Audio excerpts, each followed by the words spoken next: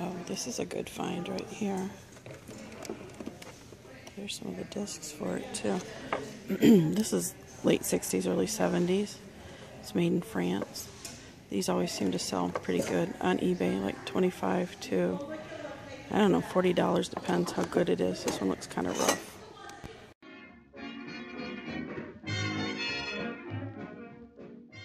Hi everyone, I'm back to take you along with me to a church sale. It's a little bit too early. I had to get up early for physical therapy for my ankle because I have arthritis in my ankle and you know, you get old, you fall apart, and you have to start putting yourself back together again. So I'm going to go get some coffee first and then I will take you with me to check out a church sale and this is going to be something we're really going to have to use some skills because it's the second day of the sale. And it's probably pretty picked over. But you never know until you go. You might find something worth some good money. Already went through here. Sometimes they have good watches but not today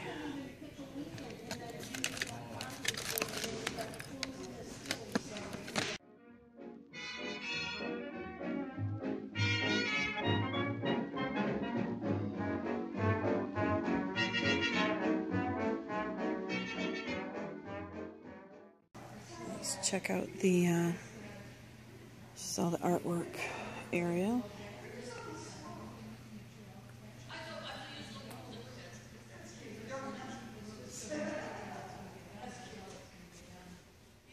These types of dolls usually aren't worth much.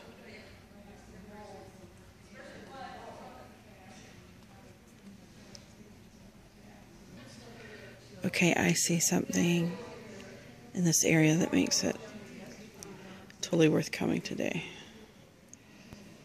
See if you can find it.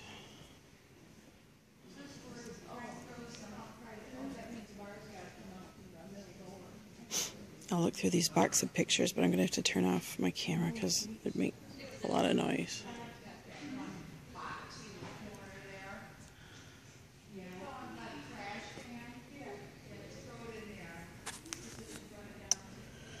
The thing that's worth about a hundred to two hundred dollars is not this painting. And certainly not that painting. You might have missed it. I almost did because it got uglified. It's this. And the price, five bucks. So I'm going to have to buy it and take it out to my car and de-uglify it.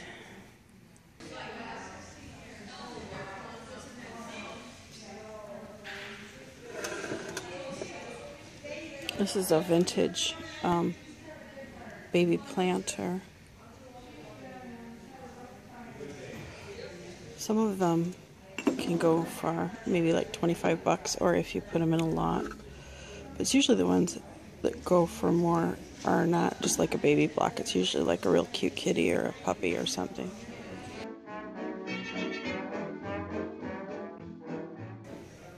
That's pretty cool, but it's chipped. Oh, this is a good find right here. There's some of the discs for it too. this is late 60s, early 70s. It's made in France.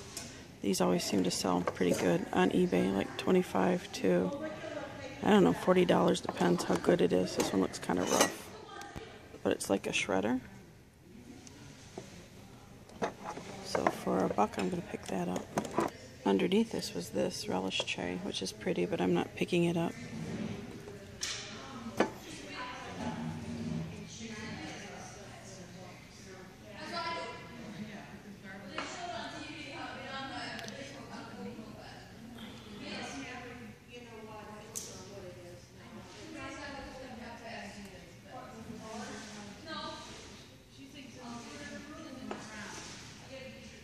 70s Tupperware can be worth money too. That's 70s, but I'm not picking it up because it's kind of rough on the inside. I mean, I don't know how much this one per se sells for, but this one's to hold lettuce, and it should have like a little stem thing that comes up that the head of lettuce sits on.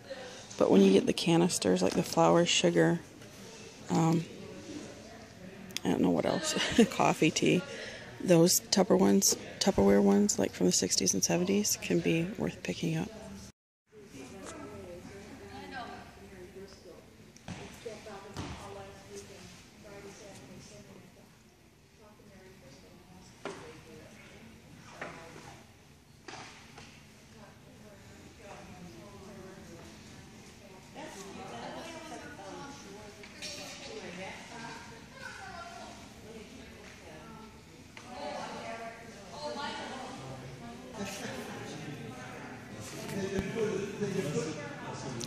This would have been about 15 to 20 bucks, except for it's really dirty. I don't really want to deal with it for just that small amount of money. Because I just don't like to invest the time.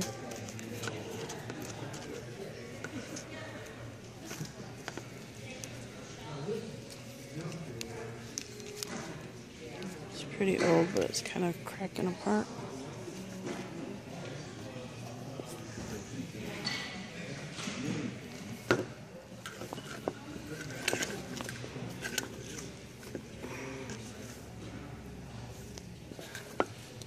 I usually pick up leather belts, but look at this one's kind of cracking. There's another area that has cracks, but I don't want to spend the time to show you. Oops, throwing it around.